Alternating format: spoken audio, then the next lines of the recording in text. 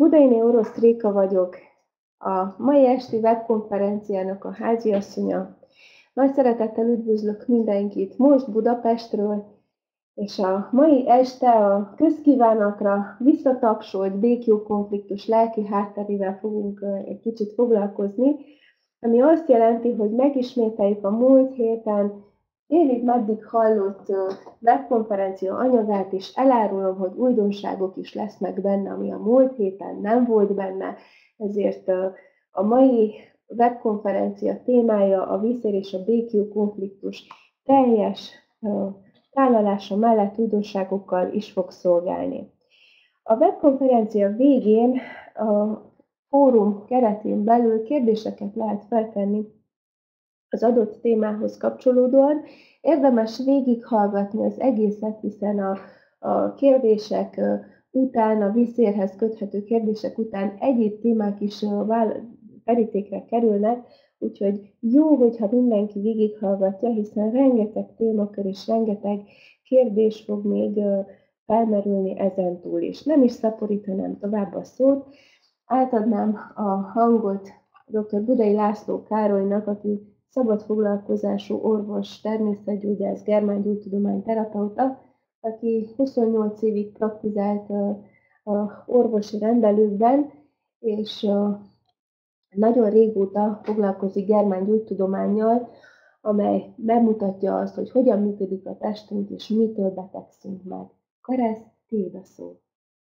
Nagy szeretettel köszöntök mindenkit, és hát azért Réka azt mondta, hogy megismételjük a múlt heti webkonferenciát, de ez teljesen képtelenség, mert kétszer ugyanazt elmondani nem lehet. Azt, az biztos, hogy a germán gyógytudomány az változatlan, csak az, ahogyan előadjuk, az biztos, hogy nem szó szerint ugyanaz lesz. Szóval uh, ahhoz képest is Réka még tett be képeket, és uh, lesznek még uh, egyéb uh, hozzászólások vagy uh, kifejezések, de a lényeg az, hogy uh, a, a viszér és a békjó konfliktus megértése egy nagyon fontos téma, pontosan abból kifolyólag, mert nagyon gyakori tünetről, betegségről van szó. Nagyon sok viszeres lábú férfit és nőt látunk, és ugye milyen érdekes az, hogy van, akinek mind a két lábán van viszér, van, akinek csak az egyiken, van, akinek az egyik lába dagad, van, akinek mind a kettő, és ezért ezeknek a dolgoknak a megértése csak is a germán gyógytudomány alapján képzelhető el. Most kezdjük akkor, hogy azok, a, azok az emberek, akik nem voltak még tanfolyamon, de hát azok is, akik voltak, azoknak sem már ismétlésként alapvető dolgokat elmondani, és így Kezdjük a DHS kritériumaival. A DHS a Dirkhammer szindrómának a rövidítése, vagyis annak a pillanatnak a rövidítése, ami elindít bennünk egy érzelmi alapú biológiai változást. Ugye a érzelmi alapú, amikor valami váratlanul meglepetésszerűen érzelmileg engem megérint, megráz, tehát egy nagyon súlyos dologról van szó, és mindezt magányosan élem át, sőt benne is ragadok a konfliktusba, akkor a lelki megrázkódtatás az agy közvetítésével szervi szintű elváltozást fog elindítani. Ez az első biológiai törvény, amit Hammer doktor 1981-ben írt le, és ezt akkor a rákvas törvényének nevezte, hiszen a saját tragédiáján keresztül jött rá arra, hogy valójában a lelki ö, ö, megrázkódtatásoknak, a súlyos, váratlan lelki élményeknek milyen ö, szervi következményei lesznek. Tudjuk, hogy a fia, 19 éves fia Dirk Hammer az ölében halt meg, pedig mindent elkövetett 111 napon keresztül, hogy megmentse a fiának az életét. Ez nem, nem sikerült, és két hónap múlva heredaganata lett. Tehát azt a lelki megrázkódtatást, ami elindítja ezt az egészet, ezt Dirk Hammer szindrómának nevezte el a fiára való uh, tisztelettel. A lelki megrázkodtatást, tehát ha elindít egy szervi meg elváltozást, akkor a szervi elváltozásból a lelki megrázkodtatásra is tudunk következtetni, de természetesen ezt csak a beteg fogja tudni beazonosítani. Kapok itt leveleket, melyekben egy anyuka meg akar menteni valakit, a leányát, a gyermekét egy egészen más témába, hogy ezt hogy csinálja. Hát nem hajlandó eljönni egy tanfolyamra, nem hajlandó megérteni, hogy ő nem fog meggyógyulni a beteg gyereke helyett, tehát ilyen esetekben ezt nem lehet alkalmazni, hiszen pontosan a beteggel való szóbaállás, a beteg szóhasználata nagyon nagy segítség abban, hogy rájöjjünk, hogy mit kérdezzünk, illetve hogy hol kutakodjon a beteg az életében, a történetében. Tehát mi gyakorlatilag segítünk a nyomozást lefolytatni, de magát a konfliktust a páciens fogja megtalálni. Na és hogyha megtalálta, akkor azt meg is kellene oldani, de ez majd egy következő lépésben kerül sorra, mert hiszen az első biológiai természettörvényben gyakorlatilag a megoldás is benne van, mert ha lelkileg megrázott valami, akkor azt lelkileg kéne megoldani. És itt szoktunk elakadni, itt van szükségünk arra, hogy valaki útmutatást adjon arra, hogy de hogyan csináljam én azt meg, hogy ne érezzem ezt, vagy mit kéne másképpen csinálnom, itt jön be az életmód a kapcsolatos terápia vagy tanácsadás, mit kéne másképp csináljak, hogy ne érezzem békjóban az életemet például. Vagy egy adott körülményt hogyan tudjak feloldani. Elmondom, hogy van három szintű megoldás. Az egyik azt jelenti, hogy nem csinálok semmit, elmegyek, megműtöttem a lábamat, és utána megtapasztalom, hogy kiújulnak a tünetek. Mert hiszen semmit nem oldottunk meg a kiváltó tényezőből, de ö, műtétileg a tüneteket átmenetileg eltüntettük. Második az, hogy foglalkozunk a germán gyógytudományal, és akkor megértjük, hogy valójában miről is van szó, és hogy mondjam, radikális változást csinálunk az életünkben, mert hogy rájövünk, hogy a sinek, amit mostan elég lass, eléggé kevésbé látszik, kékkel van, a konfliktus pillanatában kialakulnak a sinek, az emlékeztető körülmények mindent tartalmaznak, amit mi a ö, drámai pillanatban az érzelmi megrázkodtatás alatt rögzítettünk, így a, a hangok, a képek, az illatok, a, a bármilyen ö, részlet, ami abban a pillanatban jelen volt, és ha újra az megjelenik, akkor már konfliktus nélkül fog újra elindulni a biológiánkban ez a, ez a túlélő program. Tehát rögzülnek a körülmények. A második rész tehát lehet az, hogy kerülöm a sineket, vagy megpróbálok valamilyen változást az életemben létrehozni. Van egy harmadik megoldás is, ami viszont arról szól, hogy én változok meg. Nem azt akarom, hogy a körülmények megváltozzanak, és a világ úgy forogjon, ahogy nekem kényelmes, hanem én változok meg, én változtatom meg a hozzáállásomat a kialakult helyzethez, és ez viszont egy olyan megoldást hoz az életünkbe, hogy többet nem fog ez a betegség ismétlődni, nem lesznek recidivák, és egyszer és mindenkorra a probléma megoldódik. Na ezért kell három napot rászállni, egy hétvégét arra, hogy ezt az ember ne csak megértse, hanem megtanulja be tudja gyakorolni azt is, hogy átvigye a napi gyakorlatba. A, a következő kép az a második biológiai természettörvényről szól, vagyis Hammer doktor utána még négy biológiai természettörvényt írt le, vagyis összesen öt törvényben írja le minden biológiai lénynek a működését. Az első a DHS, amit itt a függőleges vonalon látunk, meglepetésszerű, váratlan esemény, ahogy, vagy ahogy másképpen egyszerűbben fogalmazok, amikor becsapott az Istennyila, nos, akkor elindul a biológiai program. Miért? Mert benne ragadtunk, és magányosan éltük meg.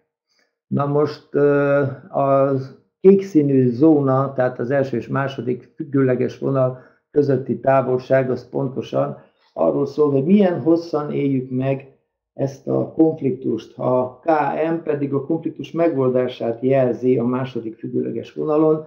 A konfliktus megoldása fogja hozni valójában azokat a tüneteket, amelyek hát orvoshoz fognak minket elkísérni. Ugye a konfliktus aktív fázisban stresszes idegállapotban vagyunk, gyakran szaporán ver a szívünk, emelkedik a vérnyomásunk, a stressz miatt hideg kezünk, hideg a lábunk, nincs étvágyunk, fogyni fogunk. Ezek most általánosságban a konfliktus aktív fázisnak a tünetei, legyen szó bármiről, tehát a stressznek a tünetei, gondoljunk csak egy vizsgadrukra, amikor drukkolunk, amikor feszültek vagyunk, akkor éjszaka se tudunk elaludni, vagy ha elalszunk, fölébredünk. Nos, ilyenkor vannak nyilvánvaló elváltozások, amit akkoriban laboratóriumban ugye nem megyünk, mert erre nincs időnk, de ha megnéznénk, akkor emelkedettebb lenne a pajzsmirigy hormonszintünk, emelkedettebb lenne a mellékvesekérek hormonszintünk, de egy extrém nagy stressz az az adrenalin szint emelkedését is okozná. Megoldási szakasz az, amikor betegnek érezzük magunkat, és gyakorlatilag akkor megyünk orvoshoz. Ennek, amint látjuk, két része van, egy exudatív fázisnak és egy hegesedési fázisnak nevezett rész, az a két piros betűs rész, és közte egy kék színű nyíl emelkedik mereven föl, ez pedig az epileptoid krízist ábrázolja. Most gyakorlatilag a vízszintes vonal az az időtengely, és ezek a görbék, ami a vízszintes vonal fölött meg alatt vannak, ezek a szimpatikus és paraszimpatikus idegrendszer működésének a túlsúlyát jellemzik. A paraszimpatikus idegrendszer túlsúlyát fogjuk tapasztalni, tehát a konfliktus megoldása után, és ekkor lesznek úgynevezett betegségtüneteink, vagyis gyulladásos tünetek, a rubor, tumor, kálor, dolor funkció léza szaknyelven fogalmazva mind megjelenik, vagyis vörös lesz, gyulladt lesz, fájdalmas lesz, és működni nem fog. Nos, amikor ez az egész megjelenik bármilyen szinten, akár vízszérről legyen szó, akár, akár genyes manduláról, ugye, akkor, akkor nagy, nagyon nagy betegségtudatunk van, megyünk orvoshoz, és az próbál segíteni rajtunk úgy, ahogy őt erre tanították. A második piros terület között még látjuk ezt a kiemelkedő részt, epileptoid krízisnek nevezzük. Ez nagyon fontos, egy nagyon életmentő, bár a legveszélyesebb része az egész biológiai programnak. Ugye itt jelentkezik majd a mélyvénás trombózis, de itt történhetnek, hogy leáll a szívünk, vagy szívinfarktust, vagy tüdőembóliát kapunk, vagy besárgulunk, mert összeszükülnek az epekivezető csatornák, vagy éppenséggel gyomorvérzésünk lesz, vagy a hölgyeknek mélyüli vérzése lesz. Szóval ez egy veszélyes része ennek a programnak, de hogyha ez a piros, ez a piros terület ennélkül a megszakítás nélkül egybefüggően, sőt egyre mélyebben folytatódna, akkor a legmélyebb ponton megállna a szívem. A epileptoid krízisnek a tetején már rengeteg víz gyűlömlik össze egészen addig, mind az érintett szervben, mind pedig az agyi központban, ami egyre fokozódó fejfájást okoz, viszont ez oldódik meg az epileptoid krízis lecsengésekor, a rengeteg vizet kiürítjük, kivizeljük, a fejfájásunk elmúlik, a szenvedésnek nagyjából vége van, viszont megjön az étvágyunk, és enni fogunk, és csak nagyon fáradtaknak fogjuk érezni magunkat, míg ez a hegesedési fázis be nem fejeződik. Ez az egész görbe, amit Hámeri iránytűnek is nevezünk, ez többféleképpen lefuthat, lezajlódhat. Ugye előfordulhat, hogy a konfliktus aktív fázisból soha nem megyünk át a megoldásba, ez a biológia teljes kimerüléséhez vezet. Előfordulhat, hogy a program kifut, de újra meg újra elindítjuk, és mindig kifut, de újra elindítjuk, ez a policiklikus lefolyás. Van a függőgyógyulás, ami annyit jelent, hogy a, a piros mezőből, amit itt látunk, újra meg újra visszakapcsolunk a DHS-be, vagy a sinek miatt, vagy az újból megért konfliktusok miatt, és ezért lesz felfüggesztve a gyógyulásunk, ezért nevezük függő gyógyulásnak ezt a történetet, és mindegyik lefolyásnak más-más hát szervi következménye lesz. A megértés valójában az akkor történik meg, ha az embriológiával összekötjük ezt az eddig elmondott tudást, hiszen a konfliktus aktív fázisban vagy szerve, vagy sejteket építek, vagy sejteket bontok, vagy működést változtatok. Vajon miért?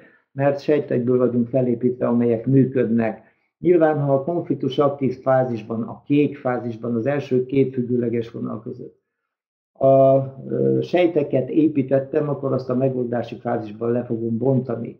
Egy sejteket sorvasztottam, akkor azt a megoldási fázisban vissza fogom építeni. Ha itt ö, működést ö, változtattam, azaz megfékeztem, mondjuk megfékeztem, a vércukor, a, megfékeztem az inzulin kiáramlását, hogy megemelkedjen a vércukorszint, hogy képes legyek az ellenszegülésre, legyen hozzá elég energiám, akkor a megoldási fázisban ez a megfékezés megszűnik, és visszaáll a normális vércukor szint. Ugye a cukorbetegeknek miért nem áll vissza? Mert függőgyógyulásban maradnak. Pontosan a, a konfliktus tisztázatlan volt amiatt, és a sínek állandó működése miatt. Nos, tehát az, hogy a, a megoldási fázisban, illetve a konfliktus aktív fázisban mikor mi történik, az pontosan ez a Hámeri rajz mutatja, de hát aki járt medicinára, az az ismeri, mert embriológiából tanultuk, hogy minden szervünk, minden szövetünk három csiralemezből származik, itt piros, narancs és sárga színnel látjuk őket, és minden túlélési program belénk van kódolva, mégpedig az is, hogy ez hogyan fog lezajlani.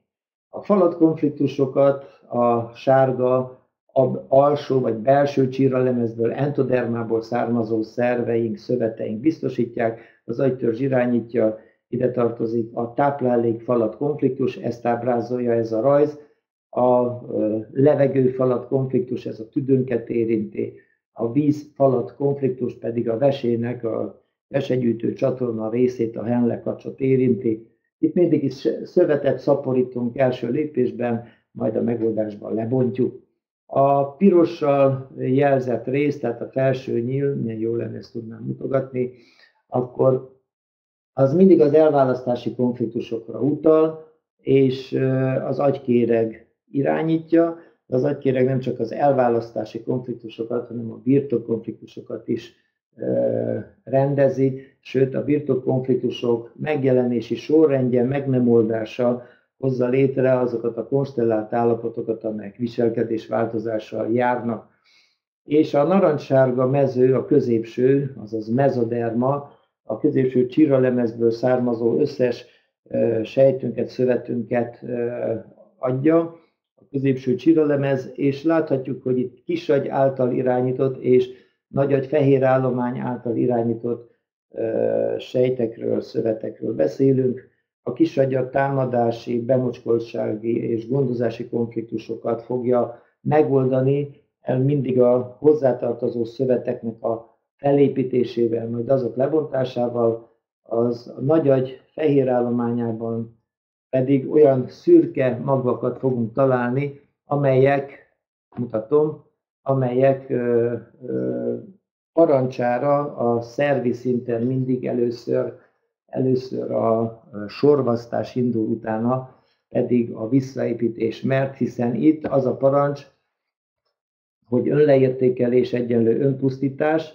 és ez egy nagyon lényeges felismerés, hiszen az önleértékelés érzelmi ereje meghatározza, hogy milyen szöveteket bontunk le, és milyen mely és, mi, és mely testrészünkön, azt meg meghatározza az önleértékelésnek a témája.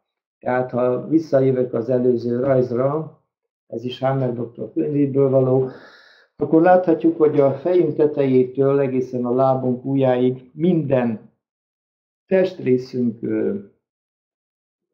képviselve van a nagy agy fejrállományának szintjén, és a téma, amiben én leírtam magamat, vagy amiben elmarasztaltnak, és én ezt magamra vonatkoztatom, nagyon megérint engem érzelmileg. Nos, ezek, a, ezek az önleértékelési konfliktusok egy adott test területen fognak szövetek, szöveti sorvadást indítani, de az, hogy milyen mélyen érintett meg engem ez a történet, meghatározza, hogy milyen szöveteket bontott. Nos, mivel itt a mozgással kapcsolatos szöveteket kell felsorolni, nagyon egyszerű megjegyezni, mert ugye a mozgás alapját a csontok adják, tehát csontszövet. A csontokat izületek kötik össze,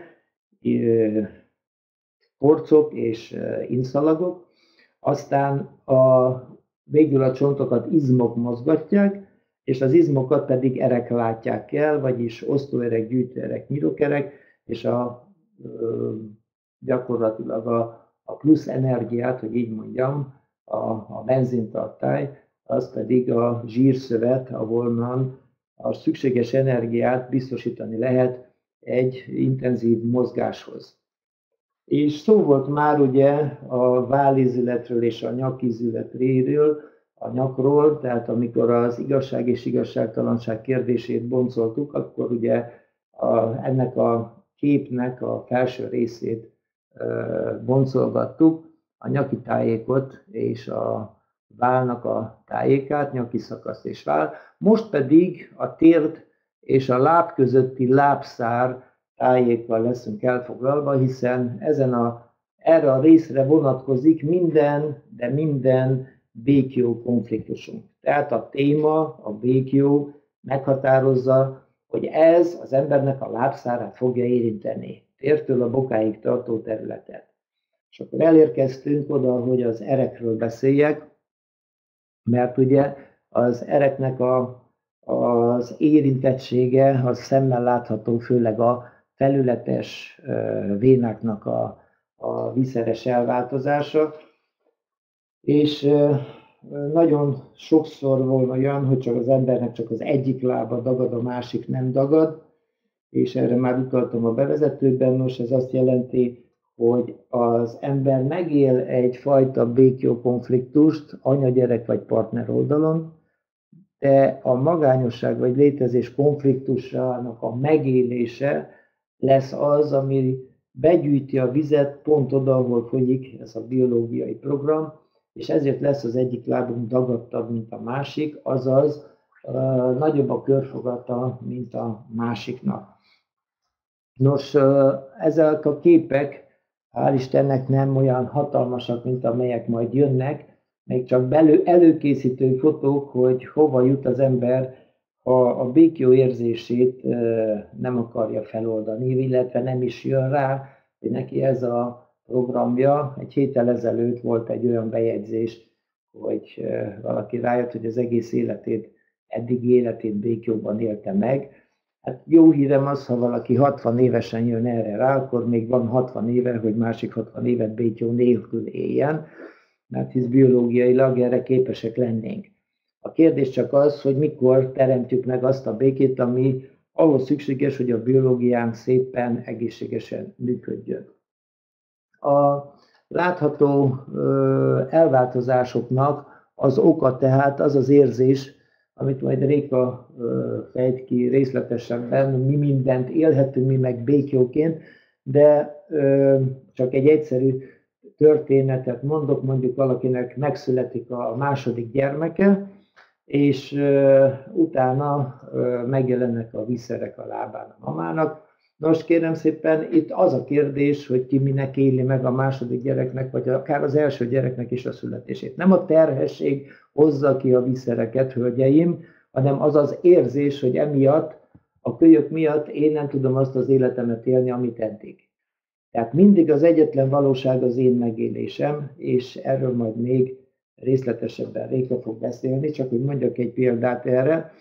De Békjónak élhetünk meg egy párkapcsolatot is, és hogyha a békjó érzése valakinek egy alapérzése, akkor bármi is történik vele, ő mindig azt fogja látni, hogy na most emiatt nem tudom én megtenni azt, amit szeretnék, amire vágyom, ezt a koloncot is én nekem kell magam után húznom, stb. És akkor mind a két lábán tönkreteszi először a vénáknak a falát, kezdi az intimával, vagyis az, az erek belhártyájával, folytatja a, a középső részsel, ott az izmok, a síma izmok fognak megvastagodni, és az egész vénafal szerkezete ezáltal módosul, és tönkre mennek azok a billentyűk, amelyek azt biztosítanák, hogy a vér visszajusson könnyedén a szívhez, mert ugye az az erő, amivel a szív a vér kipumpálja magából, ugyanaz az erő fogja vissza is juttatni a jobb pitvarba a vénás vért, az alsó üres vénából a felsőbe a gravitáció beviszi. Szóval ott tartunk, hogy a konfliktus aktív fázisban szétszedjük a vénafalat, a megoldási fázisban pedig jön a gyulladás. A konfliktus aktív fázisban lehetnek ilyen görcsszerű érzések a vénában, a vénafalban, de ezek annyira finomak, hogy nem biztos, hogy észreveszi valaki, de a megoldási szakasz gyulladásos tüneteit már mindenki fogja érzékelni, és az epileptoid krízis itt a legveszélyesebb, mert ott jöhet a trombózis. A mélyvénás trombózis az, ami veszélyes, a felületes vénák akármennyire is csúnyák és begyulladtak, a bennük levő trombus nem tud feljutni a tüdőig, és ott a tüdőembóliát okozni. A mm, megoldási szakasz második részében pedig hát jön az a heggesedés, aminek aztán ott, ott lesz a lenyomata mindvégig. Elárulom, van olyan is, aki ezt is meg tudja oldani, hiszen megtanítjuk, hogy hogyan lehet a biológiai programok fölé emelkedni és átírni mindazt, amit a biológia tud. A fekélyes lábszár csak akkor fog kialakulni, ha ez a békjó konfliktus egy folyamatos érzés, folyamatosan teszük tönkre a vénáinkat, ezáltal folyamatosan nő a hidrostatikus nyomása a bokák fölötti részben, ami annyit jelent, hogy a sejtek szintjén nincsenek meg a megfelelő körülmények az anyagcsere folyamatokhoz, és beindul először a bőrnek az elbarnásodása, utána a szöveteknek az elhalása, és kialakul a lábszárfekély.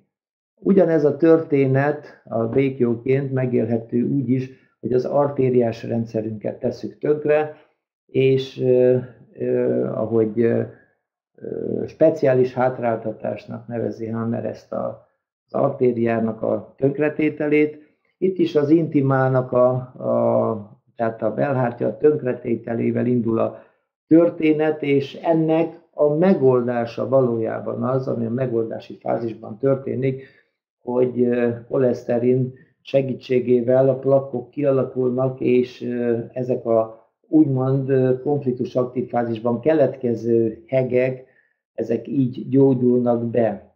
Na most, ha ezt függő gyógyulásba kapcsoljuk, akkor egyre vastagabbak lesznek a hegek, és egyre szűkebb lesz az érnek az átmérője, Jelzem, ha 50%-ban történt meg egy érnek az összeszüklése, az még képes arra, hogy ellássa a megfelelő végtagot, vagy éppességgel, ha nyaki érről van szó, hogy azon elegendő vér jusson az agyunkba. Tehát amikor már olyan lábat látunk, ami itt ki van vetítve, elfeketedő lábújakkal, ott már valójában a pulzus nem is tapintható a lábfejen, olyan fokú az ér szűkület, ez is egy folyamatos, egy folyamatos érzésnek a következménye. Szerkezeti rajzot is bemutatom ismételten, ami itt van. Ugye a jobboldali képen látható a fent az véna és az artéria fala összehasonlítva. Láthatjuk, hogy az artériák falát sokkal vastagabb, nyilván mert benne nagyobb a nyomás uralkodik, mint a vénákban, és hát ezt a gyönyörű szerkezetet tudjuk tönkretenni mi a békió konfliktussal.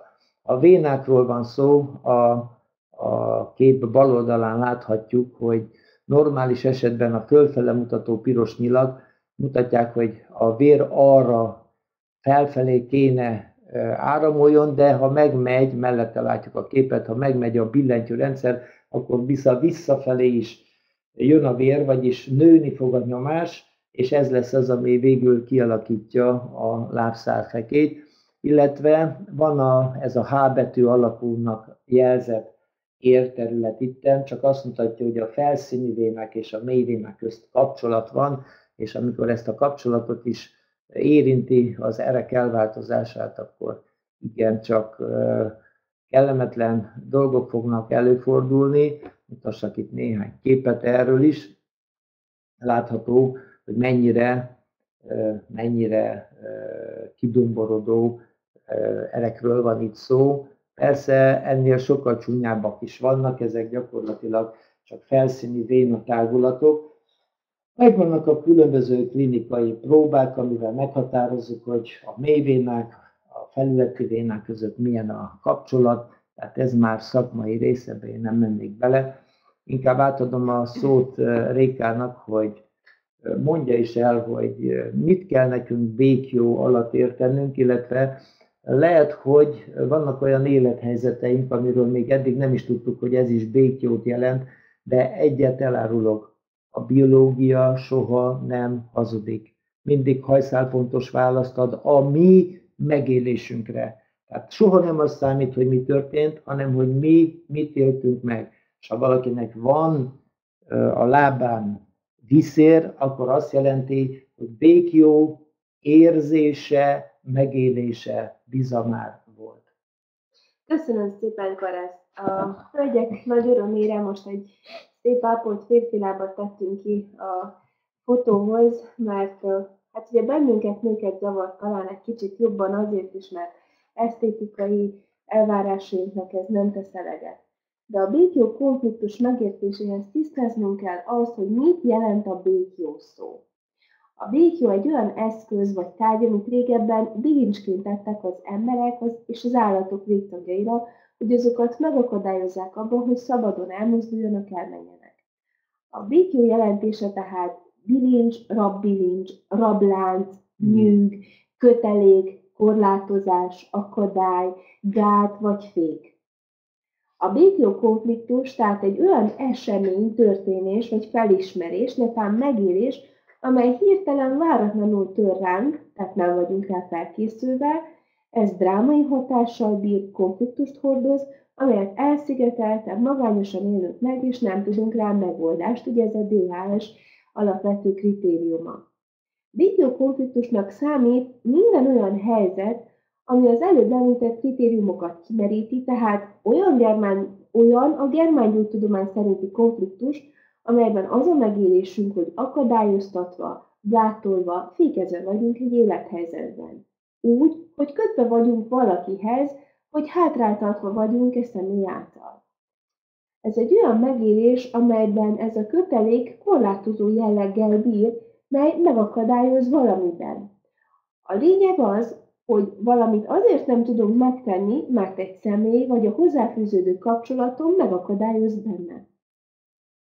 Általában ezek az akadályok, békjók úgy vannak jelen, mint egy teher, egy nyíg, egy kolonc, amelyet mindenhová kénytelenek vagyunk vinni magunkkal.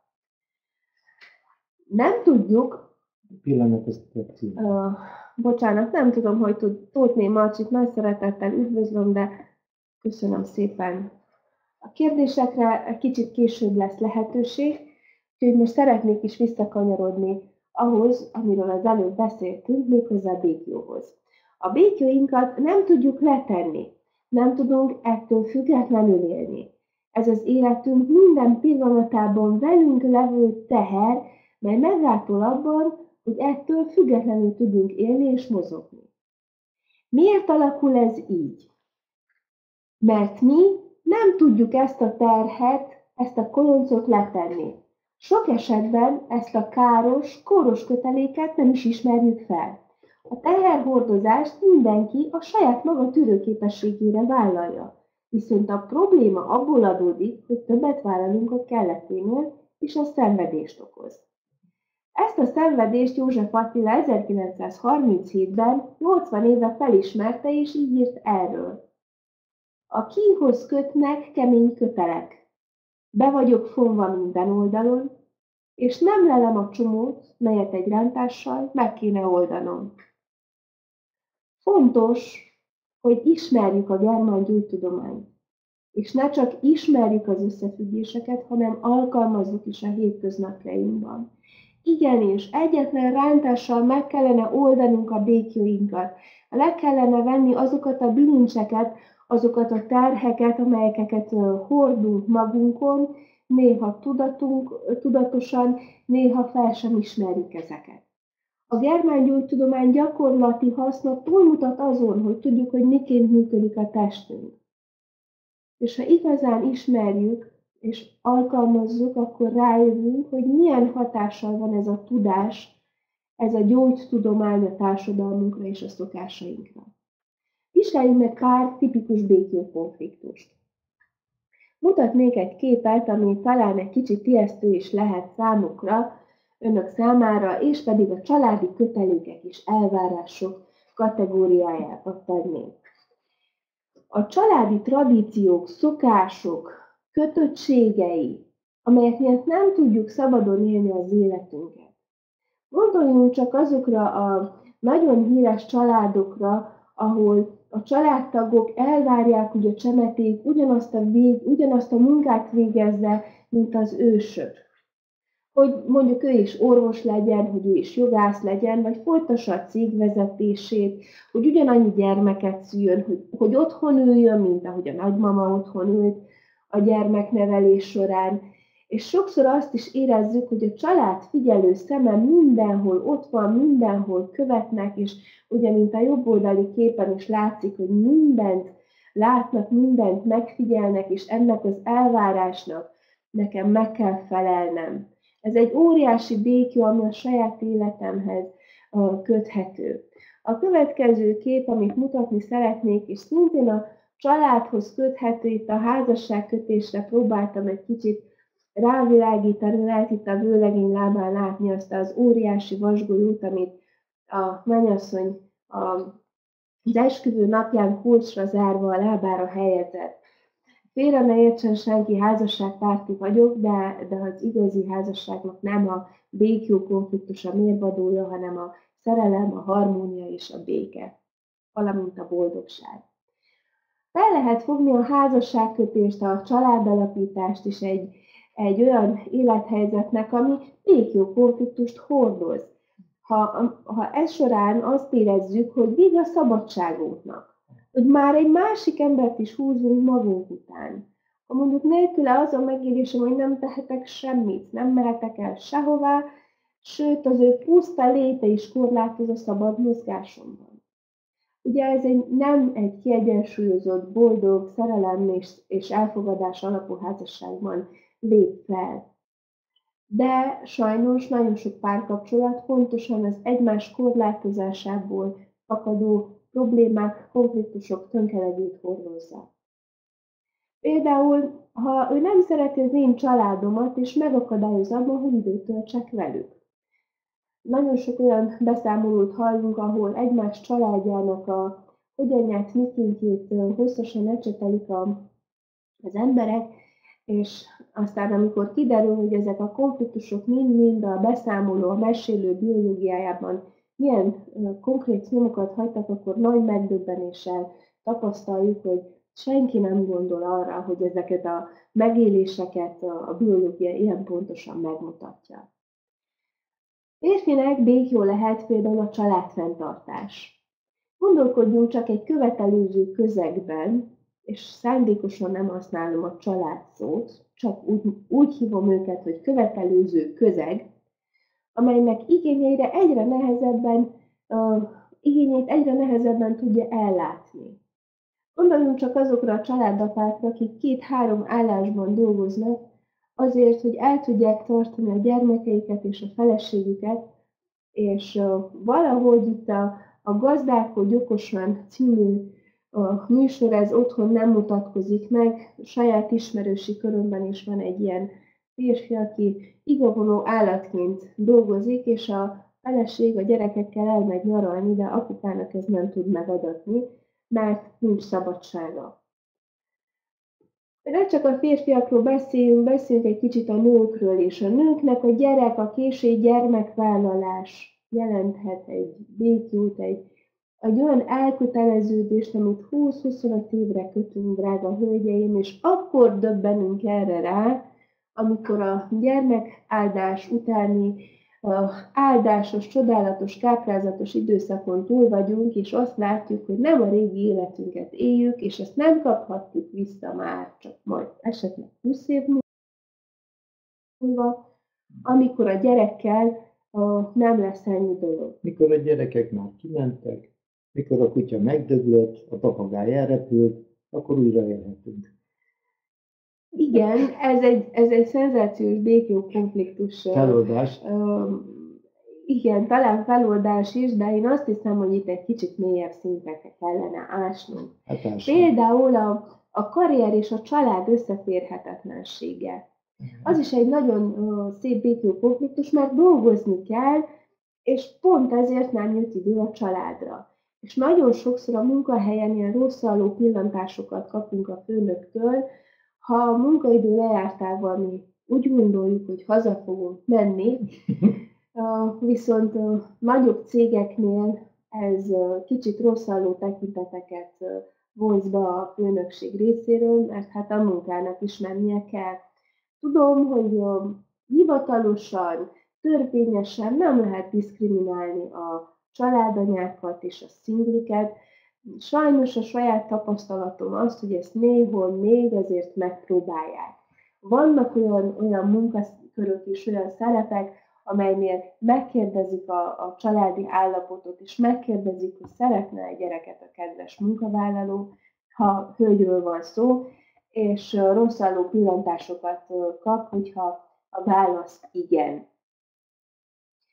De ha túl sok a feladat, amelyet felvállalunk, mert megígértük, mert le vagyunk kötelezve valakinek, mert adósai vagyunk, és ezt a terhet vinnünk kell, az is egy békjó konfliktus lehet, ezt főleg akkor írjuk meg konfliktusként, ha erre emlékeztetnek is.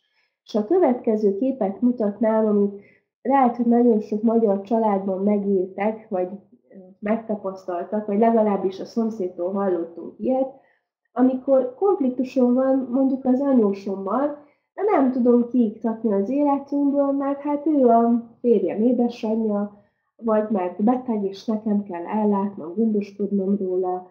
Ezt szerettem volna a jobb oldali alsó képben megmutatni, hogy milyen sok terhet és, és gondot okoz egy mai magyarországi család háttérben egy, egy fekvőbeteg ellátása akiről gondoskodnunk kell, akinek az igényeit ki kell szolgálnunk, és igen, akkor is probléma lehet, hogyha ez egy teljesen egészséges másik ember, akinek a, a jelenlététől vagy a, a megjegyzésétől nem tudok szabadulni, mert ugye jó, jó neveltségemnél fogva a férjem édesanyjával nem vitatkozom, vagy mert pont ő vigyáz a gyermekeimre, és én ezért tudok dolgozni menni, tehát el kell tűrnöm, el kell nyelnem ezeket a problémákat, de ezeket azért vonszolom magam után.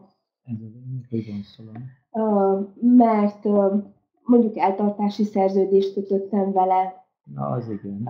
Vagy pont az ő házában lakunk, tehát nem tudok kimenni innen, húznom kell ezt a békjút, ameddig ő él de békjóként élhetem meg azt a munkát, vagy azt a munkahelyen elvégzett feladatot, amelyet ugyan elvégzett, de nem szeretem, viszont ha ez nincs, akkor, ez, akkor ezáltal nem biztosított a megélhetésünk.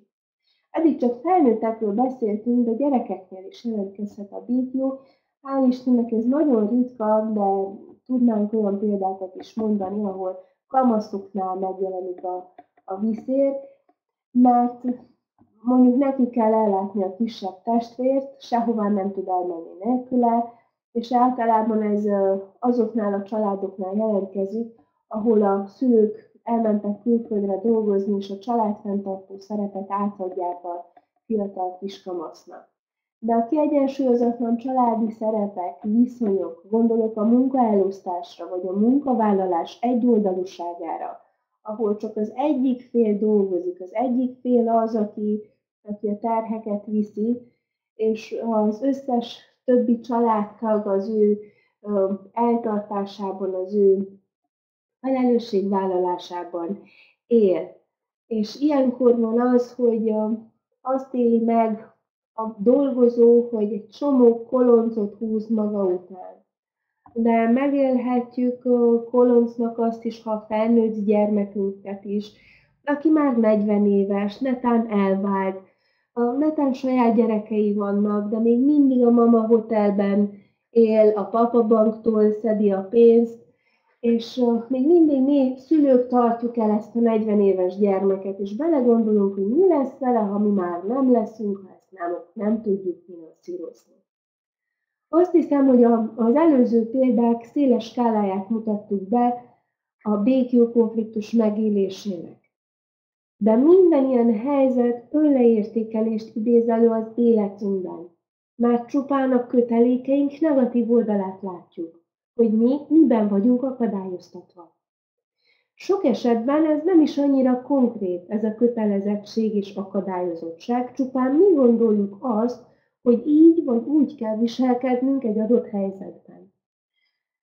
Nagyon sokszor dramatizáljuk túl a helyzetet. De vajon mennyire valós ez a gátló és akadályozó tényező? Sokszor ezeket mentségként hozzuk fel, nagyon sokszor hárítunk ezekkel a kötelékekkel, hogy nekem ezt kell megtennem. Ez egy nem tudok elmenni, és megmagyarázom, hogy miért nem. És mi van meg a lábammal? Igen, a, a lábam. A lábam van akadályoztatva. Igen. Um, sajnos azt is tapasztaljuk, hogy ezzel a békjóval, ezekkel a mondatokkal hárítjuk a felelősségvállalást is amennyiben valós és indokolt ez a békjog konfliktus, akkor is tehetünk valamit. Elsősorban átgondoljuk, hogy mit tehetnénk az adott helyzetben. Sokszor nem is gondolkodunk el ezen, és felvállalunk, elnézést, felvállalunk egy terhet, és azt gondoljuk, hogy ez így helyes. De mit tehetnénk? Talán átcsoportosíthatnám a feladataimat. Talán más is el tudná végezni azt a munkát, amit én. Talán pont ugyanolyan jól. Talán pont olyan ügyesen. Nem ártana az időrendet is felállítani, a prioritási listát, hogy mit kell megtennem, és mikor, és amikor rájövök arra, hogy egy jobb szervezéssel rengeteg ilyen koloncot át tudnék csoportosítani, át tudnék szervezni, akkor élhetőbb lenne az életem. Aztán, ha ezzel is túl vagyunk, akkor még mindig van bőven teendőnk. Elsősorban az, hogy átértékeljük azt, hogy ez miért van az életünkben. Tudom, hogy most mindenki nagy sóhaj közepette gondol arra, hogy miért kellene ezzel foglalkozni. Hát kedves hallgatók, azért, mert minden okkal történik, még a megbetegedéseink is, ezt gyönyörűen leírja a germán gyógytudomány. De vajon mire tanít ez a tünet engem meg? Mi a jó a viszérben? Persze tudom. Lehet, hogy az, akinek viszeres lábfájdalmai vannak, rögtön rávált, hogy semmi. Vajon nem akar ez valamit tanítani az életemben? Nem akar ez valami jóra is rámutatni? Talán, ha elgondolkodnánk, hogy mit kaptam ettől a helyzettől, akkor nem lenne annyira egyoldalú a mérlegem, akkor észrevenném azt, amit József Attila is megírt, azt az egyetlen egy apró pici helyzetet, azt a csomót, amit egyetlen rántással meg lehetne oldani. Hát igen, ez, ez lenne a megoldásnak a lényege. És ehhez viszont azt sem ártana tudni, hogy mivel azonosítom magam. Mert ahogy az egész történetet kívülről nézem, akkor fogok rájönni arra, hogy mire is akar ez az egész ember megtanítani, és amikor már nem azonosulok magával a békjóval, na ez az első lépés ahhoz, hogy valójában megoldjunk valamit. Pontosan azért, mert maga a viszér is egy olyan dolog, amitől nem tudok szabadulni. Mert a, a csúnya göcsös seprűvénás lábszáraimat is mindenhová viszem magammal. És már nagyon nem szeret. Már nagyon leszeretném rázni. Épp úgy, mint a, rab, a, rab, a rabláncot. Pontosan. És dugdosom. És szégyellem. És újabb konfliktusokat indítok be miatta. És jön a magányosságérzés, amitől még jobban be is fog dagadni. Majd attól is bedagad, hogyha már tönkretettem a keringésemet a tönkretett viszerekkel. Szóval rengeteg a következmény konfliktus, és itt jön az, amikor arról beszélek, hogy ez a gyógyulás csapdája. Ezért kell ebből a csapdából kilépni, és csak úgy tudunk belőle kilépni, ha hát mondjam azt, hogy három lépés távolságból nézünk a saját életünkre, úgy nézzük az életünket, mintha egy moziban látnánk ezt a filmet, aminek mi vagyunk a főszereplője, és ugye mindenki tudna egy moziban a főszereplőnek adni ötleteket, hogy mit kéne tegyen ahhoz, hogy ne szenvedjen. Hát valahogy így kéne mi is ránézünk az életünkre, és akkor rájönnénk arra is, hogy mire tanítanak ezek a békjók, hogy ezek nem is akkorák, amelyeknek elkülönat lát, amilyennek látszanak, és hogy Réka is mondta, megtanulnák a feladatokat átcsoportosítani, leosztani, és mást is, mást is képessé látni arra, hogy valamit átvegyen. Mert ha egy megmentő szerepben tetszelgek, akkor azért nem adom le másnak, mert ezt csak én tudom megcsinálni. És ott van a békjog, ott marad. De akkor is békjogban leszek, ha áldozatként szegény, én nem tudom én ezt megoldani.